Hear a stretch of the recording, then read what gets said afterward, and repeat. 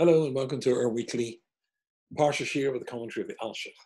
Uh, first of all, I have to apologize that this uh, is being um, put up online a little bit late this week, but it is the day before Rosh Hashanah, and I'm sure, like me, you have found time slipping away the entire week. Anyway, uh, we're here now. Uh, just let me uh, remind you if you'd like to sponsor the shiur to celebrate Simcha to commemorate somebody who's passed away, then just write to yy at rabbiyyy.com, yy at rabbiyyy.com. I'll be very happy to make that dedication for you. There's no dedications this week. Everybody's very busy at Rosh Hashanah. So I will dedicate this uh, selfishly uh, for my children and my grandchildren. Uh, they should all have a year of health, wealth, success, shalom, nachas from the children. They should be, in that sense, a, a source of nachas to uh, me and of course HaKadosh Baruch Hu, and of course themselves. So there you are. I've stolen, I've stolen a dedication. This week's parsha, which I think will probably be a bit short, shorter than usual, um, is the parsha of uh, of Haazinu, and it's a song. It's almost as much as I think the English word is swan song, this final song to the Jewish people, and it's very poetic. And it talks about the relationship with the Jewish people and what will happen you know, if we fail, etc. And the Alshich has got lots to say in this, obviously. I think it's time for me to share the screen so you can see uh, exactly the psukim. We won't be spending a long time on the Alshich tonight because I've got other things to say because it's there of Rosh Hashanah. But anyway, um, let's share the screen. And here we go. And so you should be, I'll move you over here. Do all those interesting things. I think I can minimize that. And we're going to put this up. Good. And here is Parshas Haazinu. Haazinu Hashemayim Adabera. Uh, hmm, Hazinu, give ear would probably be the translation. Sounds a bit strange, but anyway, listen perhaps. Uh, to the uh, heavens, listen, Adabera, and I will speak. But Sishma Oretz Imrafi. And the land of the earth should listen to the words of my mouth. That's all. That's all we're going to consider. Let me squish this up to the top. Ugh, for a second. The Rashi and everybody else, the Midrashim, contrast that with the words of, well, very similar words by the prophet Yeshayahu. And I'm trying to get this both in, and you can hear the clicking of the mad clicking of the mouse. Haazinu Shemaim. So Moshe says to the, first of all, he addresses the heavens. Haazinu Shemaim. But Sishma Oretz, and the, and the, the earth speak. But but Yeshayahu does, does it differently. I don't know why I did that. Oh, I can shrink it. He says, Chazan Yeshayahu, the version of, uh, the, the vision of, of Yeshayahu, go to the second puzzle. Shema HaShemayim. He's got Shemayim first, the same as, as Moshe does over here. But instead of saying Haazinu, he says Shimu. The other word, Shema. Again, listen here. We'll, we'll translate that properly in a second. Vazina Ha'oretz and the earth should give the should give ear. Moshe said, "Let the heavens give ear." Okay, let's shrink those two. Let's turn to the Alshich. One big column for us to get through. I'm not going to look at all of it because we've got other things to say tonight, as is the beginning of Rosh Hashanah. If I make this a bit bigger, if I can. That's good. Good. So he wants to know why is it that Moshe Rabbeinu says to the to the heavens, Azinu. I'm going to tell you what he says outside before we dip into the actual text of the Alshich himself. The difference between Shema and Azinu is if somebody is close to you, you say, listen. So it's it's the closer you are, you would use the word listen to what I'm saying. If you're far away, say Shema. Hear what I'm saying. Listen and hear. Listen, in fact, even in English, I think has that connotation. Listen. So, but hear means I want you to hear because can you hear that? Something far away. So this is what the Alshich says. He says, Moshe, you can see I've written the word close here. Moshe says to the Shemaim Hazinu. Why? Because Moshe was so much near heavens that that's why I use the word which denotes, connotes somebody speaking to somebody who's nearby. But that's not what Yeshayahu uh, says. because he's further away from heaven. He's not on the level of Moshe Rabbeinu. So he says, Azinu to the to to the to the earth.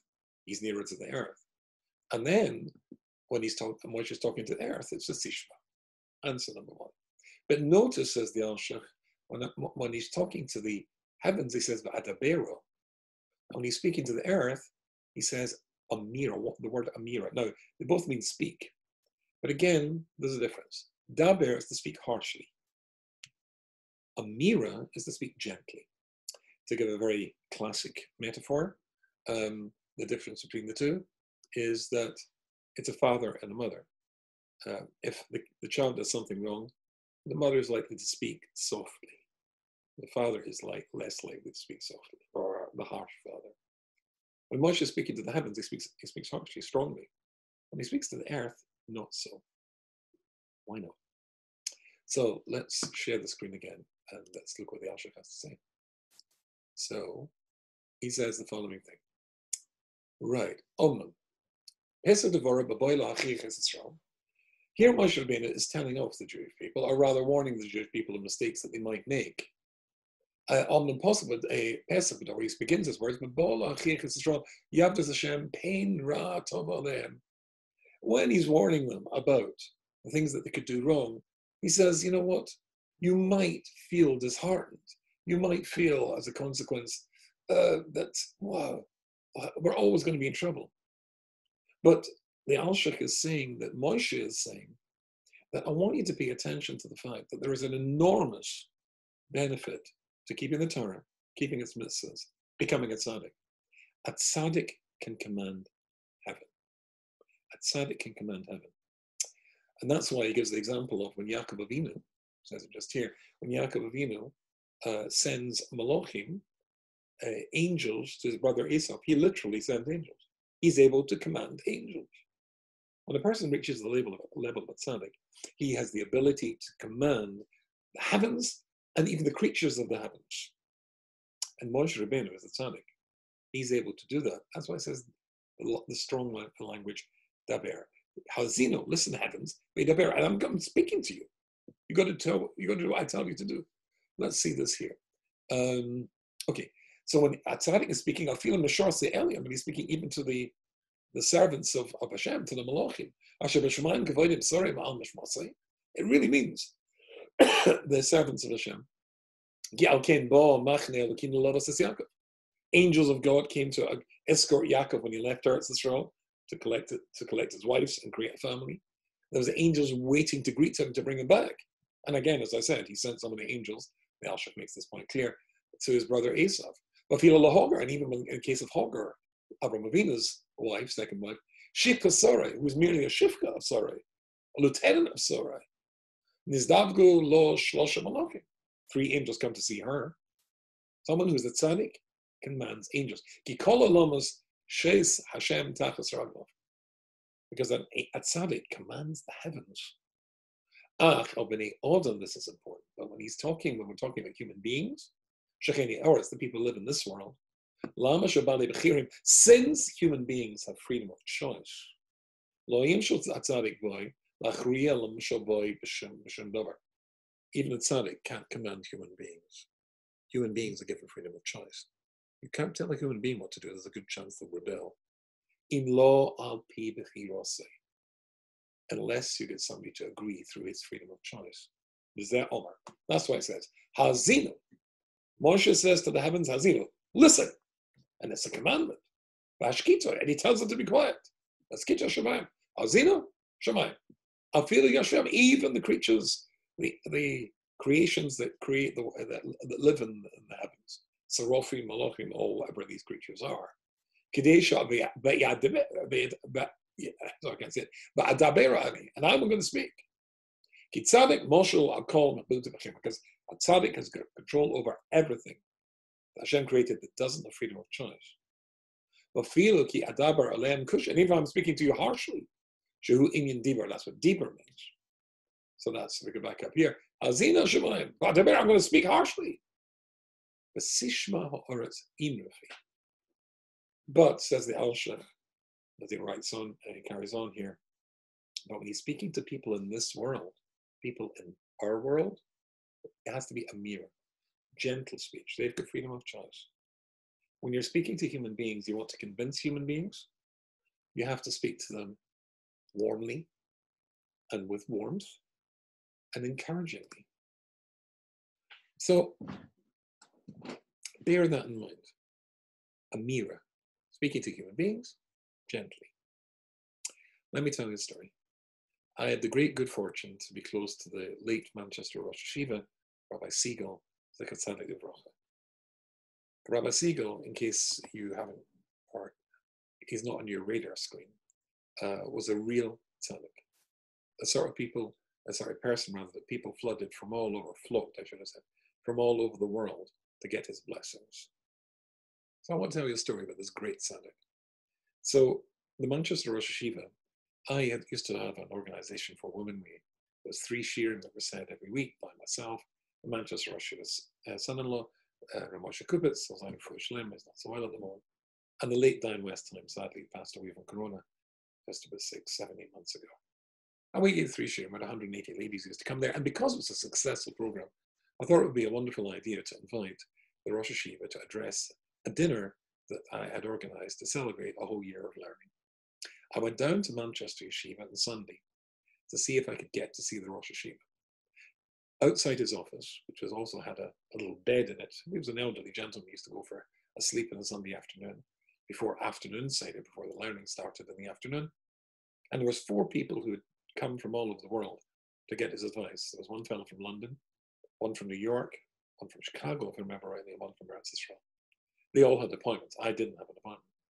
So everybody had a, a Sefer, a Jewish book in their hands, um, learning and waiting for him to start his, um, his afternoon uh, sessions of uh, consultations and advice, which, if I remember rightly, was at two o'clock. But it was past two o'clock.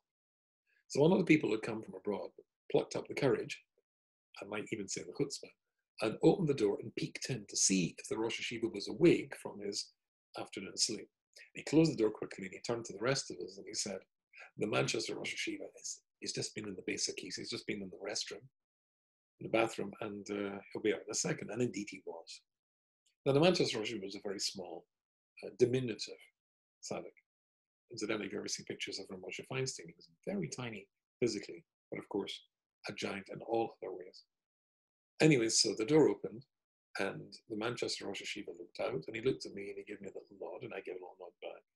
And then the first person to go in went, went in, the door closed. And of course, they all had appointments and naturally assumed I would be the end. But suddenly the door opened again. And there was the Manchester Rosh Yeshiva looking at me. He said, Yehuda Yoina, Yehuda Yoina. And he called me over. And I said, Yes, Rosh Yeshiva. He said, Yehuda Yoina, are you saying shiurim today? Are you giving any shiurim today? I said, Yes, right. Later I'm giving shiurim. So he said to the fellow from New York, Rabbi Rubinstein is saying shiurim today. He has to come in first. I have to admit, I was feeling rather pleased with myself. And so I went in, and the Rosh Yeshiva said, Yoina, I've just been to the base of Kisei, just been to the toilet. I have to make the blessing. It's a blessing you make, of course, I'll show Asher Yotze. And so he uh, he said, sit down. It was on a large conference table. I sat down, and he sat down. He took out a siddur, and this is exactly what happened. He opened the siddur to the words of the brocha that you say after you've been to the toilet. Ah, Asher Yotzer. It's very small, very straightforward blessing. And he started to turn the pages till he came to the blessing. When he got to the blessing, this is what happened. He looked, covered his eyes, and he started to cry. And he said the first word, Baruch. and then he translated the word Baruch, Hebrew, into, into Yiddish. Not to mention at all. And this carried on. I think, if I remember rightly, it took three or four minutes for him to say the Brocha Asher Yotze, which I could say in about four seconds. I had flo- floated in a few minutes ago when I'd been given priority by the Rosh HaYeshiva, and I felt quite pleased with myself. When I watched the Kavona, I watched the sincerity that Hashem, that, that the Rosh would put into speaking to Hashem, these, these words of Brocha, I didn't feel so good about myself after all. I didn't think I was such a great Jew now. I mean, if I, somebody gives me a piece of chocolate, of course I make the Brocha Shehakol. how much concentration, dedication, kavona do I put into the Shakoni Bivra? No, my focus isn't on the blessing, my focus is on the chocolate. Shakoni Bivra. Rosh Shiva, that's the amount of time he took. And why I say this is because when Moshe Rabbeinu was speaking, as the Alshar said to the, Jew, to the Jewish people, he had to speak to them gently because people of Bachir, people need encouragement. And a very good friend of mine called Robert Mijarovic, who's uh, one of the Magidi Shiva, the nearby Shiva here in, in, uh, in Long Island, uh, called Yosef, he gave me um, a letter which was sent, photostated, uh, sent from the Yeshiva of Mir to the Talmidim of the of Mir who had made their homes in America to encourage them to keep the connections and the customs, the menhogim of the Yeshiva of Mir. And when I read this, I was really very interested in what I had to say. Listen to this. Um, it says that Islam when it comes to saying the first blessing of the Amidah, of the Shemona Esrei. he said you should say these blessing, this blessing with great concentration. That means to say, concentrate in each and every single word of the first blessing of the Shemona Esrei in its own right.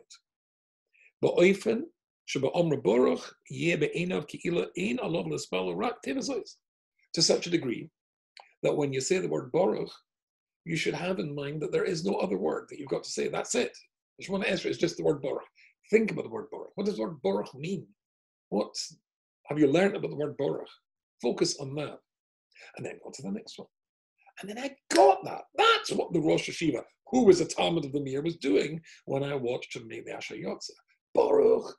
He was concentrating. His, his Mamalosh his first language was Yiddish. He translated the Yiddish. He was thinking about Baruch. Thought, I thought, you know what? Next time I someone else, I'm going to try it as well. Focus on each word. Just concentrate on the first blessing of the Shemona Esrei, but focus on each word. And I tried this. Baruch. Baruch mean? I was thinking of all the, the things that I've seen about the word Baruch. It, doesn't, does, it just doesn't mean blessed. It means to expand. That's Rabbi Shosalanter points out. And after I'd exhausted my well, extensive knowledge of the word Baruch, and then tried to move on to the next word, and then I stopped because I thought, next word's Atol. I couldn't say it. Atol. Atol? You? Look, when uh, a prestigious Choshev rabbi comes into a room and you speak to him, then the minhag is to speak to him in the third person with the Rov like. That's the Rov thing. Or a Rosh HaYeshiva. Can the Rosh HaYeshiva give a shiur with the Rosh HaYeshiva like to do this, that, the other? Indeed, when we speak to royalty, to the Queen, start with Your Majesty. You don't speak to them in the first person. But here is the King of Kings. And we say, at all. Oh. When it comes to Rosh Hashanah, sometimes we despair because we look at the entire year and all our mistakes that we've done over the year. We should never despair. Because the Pasuk says, Bonim Atem Hashem We are children of Hashem Baruch. We speak to him in the first person. The relationship.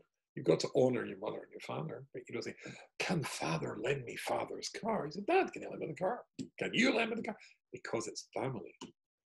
We speak to Hashem Yisborach in the first person because we are sons and daughters of Hashem Yisborach. And that's the sort of encouragement we need. But let's stick with the Rosh HaYeshiva. When I'm in Manchester, um, I always go to visit his kever. It's a place that people make um, pilgrimages to go to daven in the skus of the Rosh HaYeshiva for serious things they want to try and get Hashem's intervention and it's a very successful place to live. Before I davened there once, um, the, one of the Rosh Yeshivas, Sorim, this one, Year of Adas, was on the windowsill. I thought it would be a schus, um, a merit for him and for me to learn some of his Torah before I actually uh, pray in this holy place um, to Hashem, uh, as it were, uh, with the hope that uh, the, the Rosh HaYeshiva might intervene in my, on my behalf in the heavenly, heavenly court. So I just happened to turn it at random, and I came to this is the Rosh HaYeshiva's commentary on Shari Tshuva, Rabbeinu Yonah's famous Shari Tshuva, because tomorrow is Rosh Hashanah, and it's all about teshuva. And Rabbeinu Yonah says this. Um, but he harbol of a right? And if you've done lots of things wrong and consciously rebelled against what Hashem wanted to do, ubogin begotten big time, you've as a you've rebelled a lot. Adam tshuva. Even such a person. The doors of tshuva are never closed to anyone. Shneimah says in Yeshayahu, Shuva al asher ha'miku sora, come back, come back to me. Shuva bonim shovim rapet sechem. My sons, come back, come back, and I will cure you of your of your sins. And this is what the Rosh I think I'll read to the Rosh Hashanah. The Mancha Rosh Hashanah said the following thing. Rabbeinu Bo, Rabbeinu Yonah comes here. Shuv l'chazak asana de in mokam He comes to assure us that there is no place, and there should be no place in our minds for Yewish despair, uh, convincing yourself you're beyond help, you're beyond forgiveness. As Mesilas Yesharim says, even for adultery and even for murder, there is forgiveness. He, read, he, read, he writes on. Da'afim over odam averas kol yomov. If a person has lived a life full of averas, the shav lifting is and you do tshuva, a sincere tshuva, just before you die, it's forgiven.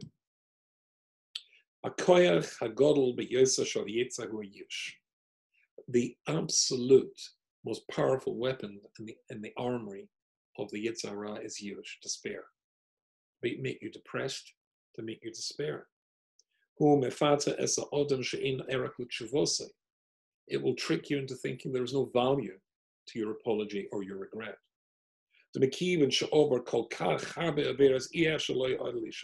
Because since your life has been so totally devoted to doing things which were offensive to God, you're toast. You're, you're finished. Of course, you become depressed and, and despair because of that. And you won't even start to do tshuva. But Omrim B'Shem Rav Aaron Karliner, so he says, Rav Aaron Karliner was quoted as saying,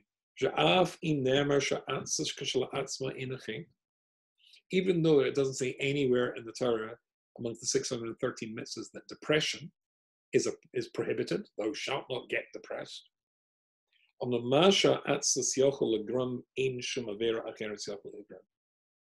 But what depression, despair, giving up can achieve in destroying a Jew is much more successful and much more powerful than anything else. Okay, and therefore, Bo Rabbeinu Lachazkenu, that's why Rabbeinu Yonah comes here to us to encourage us that Dalsi Tshuva in and Alam that the, the gates of Tshuva are never ever closed. I um, am very friendly with somebody called Rabbi Professor Dr. David Gottlieb. He's a Boston Chassid. And once he asked the Boston Rebbe the following question the Litvaks, the Yeshivish world, my world, often have the minhag or adopt the minhag before they go to sleep at night, before they say Shema, spend a few minutes reviewing their day to see you know, where they went right, where they went wrong, their mistakes, etc. Is that, he asked his Rebbe, the Boston Rebbe, a good minhag to adopt? He was interested in adopting it for himself. The Boston Rebbe considered it for a few seconds and said, Yes, I think it's a very good minhag to adopt, as long as you consider your achievements first. Before you start to look at your day and where you went wrong and things that you, you lost your temper or whatever, think of all the things you got right. That's important. Rosh Hashanah is just around the corner. I don't think it'll succeed with any of us if people shout and scream. Yes, it's Avinu Malkenu, and Malkenu is indeed obviously a scary image. The king, you did that, off with his head. But before we come to the word Malkenu the word before that's Avinu, her father. And there's no father who doesn't want to see his son or his daughter come back again. So yes, um, we should do tshuva, but think of all, and I will do as well. I'll stand there and think of all the things that I slipped up in and messed up in last year. But you've also got to remember all the things you did right, all your achievements. You've got to think that you are a good Jew. That gives you the encouragement that you need, the essential encouragement, as the Alshich said. Even Moshe Rabbeinu, who's I mean, imagine standing in front of him and telling you, giving you advice or constructive criticism. Wouldn't you accept it? Maybe not, because you've got the fear. And the Yetzer Hara can get in there and mess you up. No, be encouraged. Be encouraged this Rosh Hashanah. Of course, there are going to be things that you have to apologize for, but also remember all the things that you've done well, that you've got right. And, you know, and last year in my master, or in my seder actually, I had all my New Year's resolutions. So I, you know, always down on the minyan, and a little, and a little picture, a little, got from the internet picture, of some men davening in a shul, uh, various other things. I think it was about six or seven. And I've got a screen here. My wife gave me a screen where all the photos of my family, my kids, you know, pop up in the screen. There's one, and a single little grandson popping up now. Yair, hello Yair. Um, anyway, so I can see all my grandsons and granddaughters popping up, and of course, I enjoy that enormously. And also, I took a picture of the inside of my cedar with all the things that I wanted to work on. And the other night, they popped up. And of the seven I got last year, I was quite pleased. I got most of them right.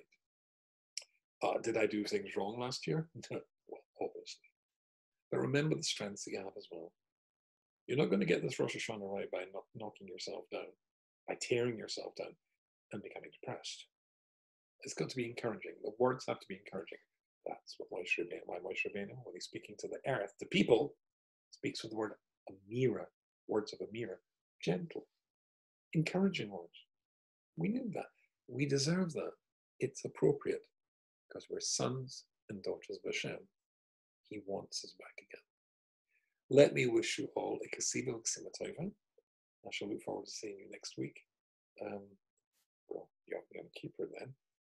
And uh, we should have a great year, one where all the difficulties of last year are forgotten and we move on from them all. See you sometime.